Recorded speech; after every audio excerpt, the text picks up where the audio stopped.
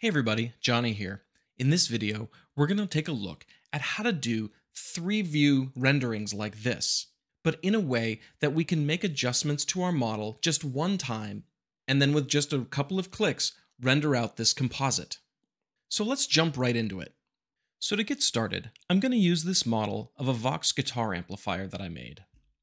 We're going to want a front, top, and side view on our final image.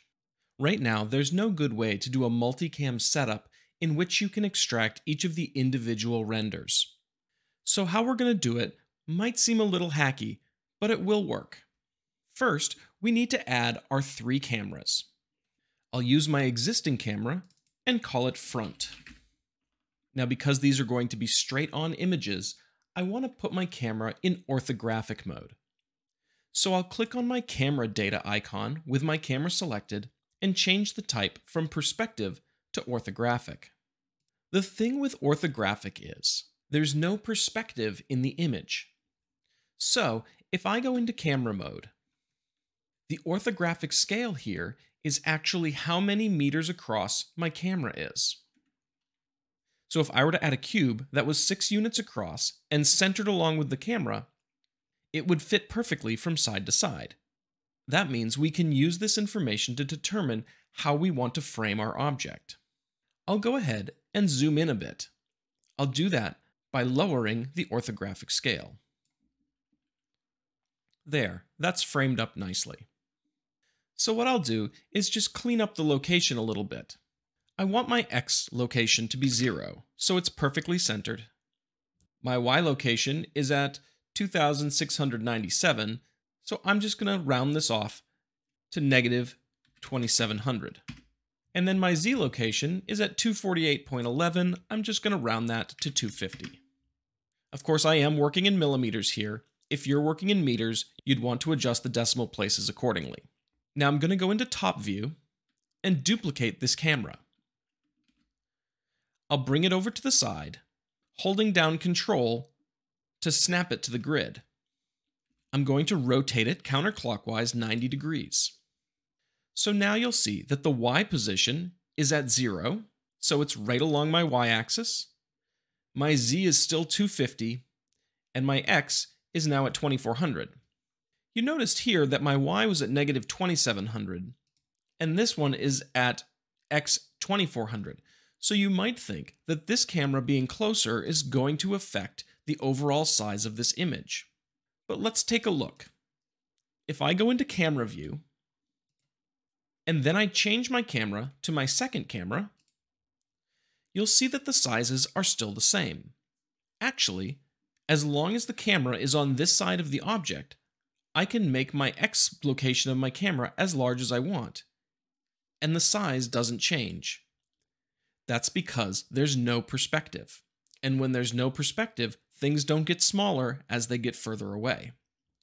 Finally, I'll duplicate my camera again, go into side view, and do the same thing, but this time aligning it on the z-axis. Rotating it down, so my x and y are at 0, and my z is at this positive 2500. Again, it doesn't really matter how close or far away it is. So just to get them out of the way, I could move this one up, this one back, and this one over. So I've got my front camera, call this one side, and I'll call this one top. Now we need to set up so that they each get their time to render. We're going to do that using an animation. So with my timeline window open, I'm going to go to my front camera. And at frame 1, I'm going to go to Marker, bind camera to marker, which is Control B. You'll see down here that a camera marker has been added, pointing to camera front. On frame 2, I'll go to the side camera. And with the side camera activated, and my mouse over the timeline, I'll press Control B. So now there's a side camera marker at frame 2. And then at frame 3, I'll activate the top camera and do the same thing with Control B. Now, if I go from frame to frame, my active camera changes. Next, because I only want to do these three views, I'm going to go to my output properties and change the end frame to frame 3. So now I'll only render frames 1, 2, and 3. I'm going to put these in a directory under slash tmp slash amplifier. So this renders more quickly, I'm going to use Eevee. You can of course use cycles for this as well. So now that I have the location set, I'm going to go ahead and render this animation. The next step is to composite these together. So I'll go up to the scene selection and press New Scene, and here I can just select New. Under here, I'll go to Compositing and select Use Nodes. Now for my input images, I don't want these render layers. So I'm going to delete this node. But what I do want is an image sequence. So I'll say Input Image. And I'll click Open. Here, under my slash temp slash amplifier directory, I see my three images. I'll select all three and say Open Image. Because the files were labeled sequentially, Blender automatically sees that they're an image sequence with three frames. So if I plug this image into my compositor, shift right click drag along this line, and then control shift click on this reroute node, I can pull in my first image into my compositor. I'm going to click view here and then click fit. That way my viewer takes up the whole screen. Now I want to put this image in the lower left-hand corner of my render. So I'm going to use a distort scale node. Leaving it in relative mode, I want this to be half of normal size. If we take an image and we make it half size, that means we'll actually be able to fit four of them in the same space as one of the original. So now I want to move my amp over to the left. So to do that, I'm going to use a translate node. That's found under distort, translate. I'm going to put it also in relative mode. That way I don't have to mess with absolute sizes.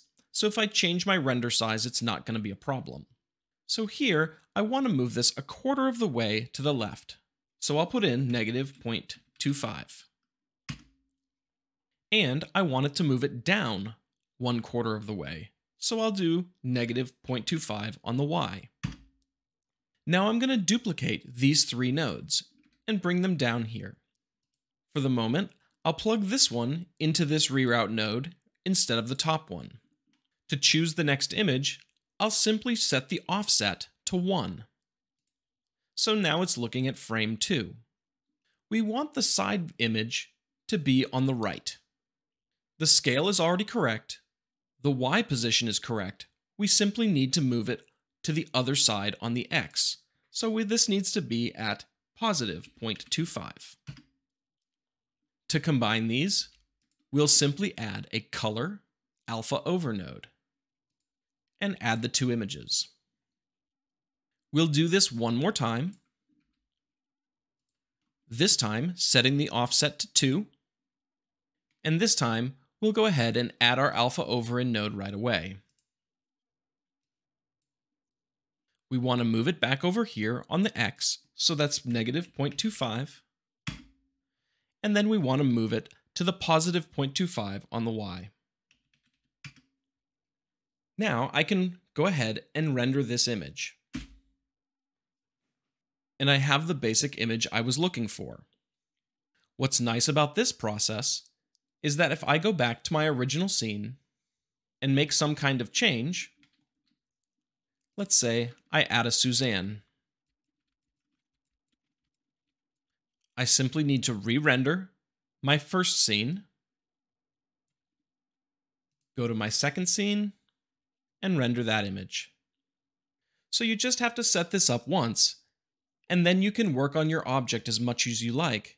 And whenever you need to render out your three-way render, you can do that with just a couple of clicks. In the next video, we're going to take a look at how we can set up a simple rig so that if we want to move around our cameras, we don't have to manually make corrections to their locations to get them to align, and we can move them around with ease, and change all of their orthographic scales at the same time. So that's it for now. Thanks for taking the time to watch this video. I hope you find this really helpful, and I hope it inspires you to make something awesome. I want to take a moment to thank all my patrons for their continued support of this channel. I appreciate you all more than you can know. So until next time, this is Johnny, and I'll catch you later.